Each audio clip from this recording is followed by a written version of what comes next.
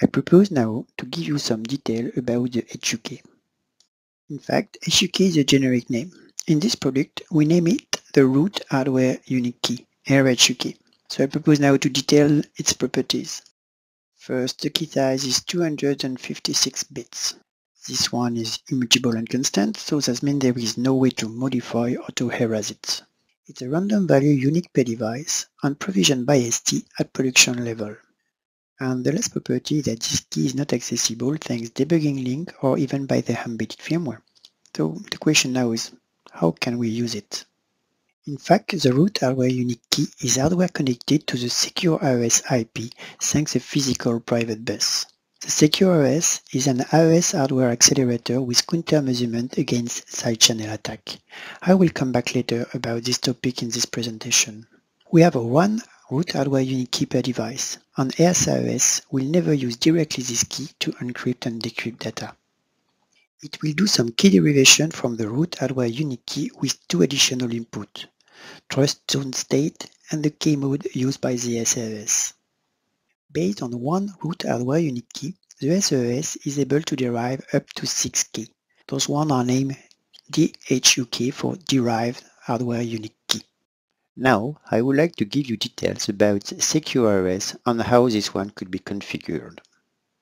The STM32 product already includes AES Crypto Accelerator and in fact the STM32U585 includes this classical AES. But in addition to that, it also includes a new IP, the Secure AES.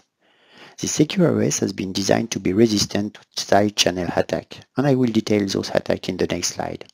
The main side effect of this resistance is a performance decrease regarding the classical AES accelerator. A side channel attack attempt to gather information or influence the program execution of a system by measuring or exploiting indirect effect of the system or its hardware. Our secure AES is resistant to single and differential power and electromagnetic analysis and also on some differential fault analysis. Thanks to those measurements, the STM32U5 is the first STMCU to achieve the PSA and SESIP certification level 3. The purpose of those certification is to give you confidence in the security level of our product. Until now, I only talked you about the root hardware unique key. But in fact, there is an additional hardware key that could be handled by the Secure AES via a dedicated private bus, the boot hardware unique key, BHUK. The boot hardware unique key is not a pre-provisioned key like the root hardware unique key. The BHUK must be generated by the embedded firmware and will be stored in the RTC backup register, so it will be part of the power backup domain. On generated and locked by the embedded firmware, this key can't be accessed anymore directly by the software, but it can still be used thanks to Secure AES, and this key is automatically erased in case of tamper event. So now we can have a complete overview of the possible key source for the Secure AES. The first possible key is a key that is coming from the embedded software. The second possible source is the derived HUK, which results from a derivation from the root hardware unique key. This DHUK will be different depending on the trust zone state of your MCU when you use the Secure AES and the key mode that you are using, and I will detail those key modes just after. The third possibility is the boot hardware unique key I've just described you before. And finally, the fourth one is a XOR between the BHUK and the DHUK. The key mode which allows the secure AES to basically encrypt and decrypt data is a normal mode. If I come back to my innovative company example, a possible way to protect the assets for them would be to develop a firmware with this algorithm. At boot time, if it detects that the assets are in clear in flash, encrypt those assets with the secure AES configured with the DHUK and replace the clear asset by encrypted assets in the flash. This will be executed once. Then on the field, when you need to access those assets, you just need to decrypt them on the secure AES configured with the DHUK. Of course, this could be done for data, but we could also imagine to do it for some code. You store your code encrypted in the flash, you decrypt it and execute it in RAM after. This is another possibility. A cryptographic recommendation is to use one cryptographic key for one purpose. We have seen together the possible key source for the secure AES, but to extend this possibility, SAES proposes some other key mode. Secure AES has three key modes. The normal one, we already seen together, it's used to encrypt and decrypt data received from the MCU. But you've got the wrap mode.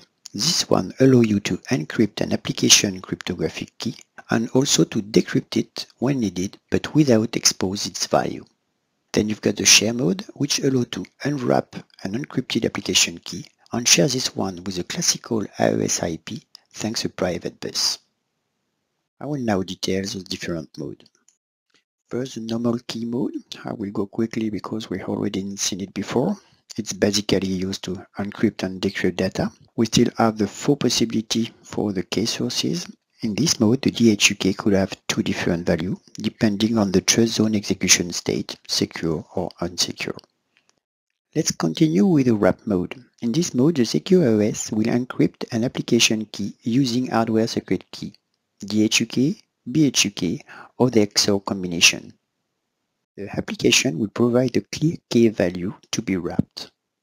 Then it will receive the encrypted value of this key.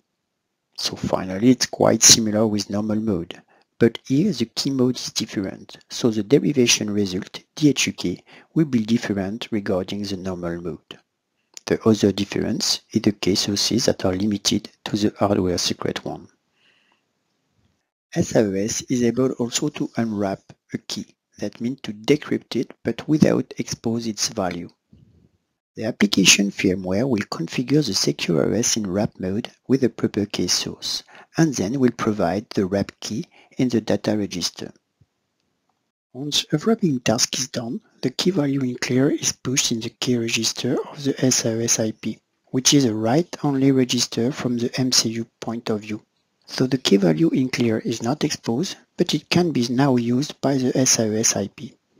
As the unwrapped key is now in the key register, embedded firmware will configure the secure AES in normal mode on the key source as a key register, and then it could encrypt or decrypt data. And in this configuration, the clear key value is never exposed. Let's see together a possible product lifecycle using the wrap key mode. First, at production level, the wrap key needs to be created. It's a kind of provisioning. Usually a random number could be used and as soon as this value is wrapped, this value could be erased. Then on the field, to encrypt or decrypt your asset, you just need to unwrap the key and then to use it. And finally, at the end of life of your product, if you want to ensure that the encrypted asset can be recovered in any manner, you just have to erase the wrapped key. But in fact, you can avoid the provisioning phase. If you unwrap a constant, this will generate a secret key that is stored in the key register and that can be used in a normal mode after. This will change slightly our product lifecycle example. Now, no provision phase, obviously. And on the field, you just need to unwrap the constant to encrypt or decrypt assets. But at the end of life of your product, you can't erase this constant so you will have to erase all the encrypted assets. Let's see now the last possible mode of the secure AES, shared key mode. It's quite similar to wrap key mode. It allows to wrap and unwrap key, but in this mode, the unwrapping key result is shared with a classical AES IP, thanks to private bus. This allows the AES IP to use the wrapped key without expose its value. Remember, the classical AES IP has not been designed to be resistant to side channel attack, but it allows better performance. So first, you will need to wrap the key in share mode. It's very similar to the wrap key mode. The only difference will be in the result of the key derivation of the root hardware unique key. Because remember, the key derivation input are the key mode, the trust zone state, and the root hardware unique key. In share mode, when you unwrap the key, the result is transmitted to the AES IP thanks to private bus. Then the AES IP could use the unwrapped key to encrypt decrypt data with better performance, but with a lower level of resistance regarding some potential physical attack. So we reach now the end of this presentation. We have seen together how a protected pre-provisioned hardware unique key could address some security requirements. The STM32U5 integrates this hardware unique key in combination with a secure cryptographic accelerator resistant to side channel attack.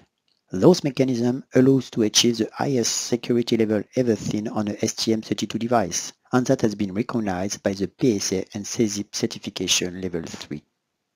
Thank you for your attention.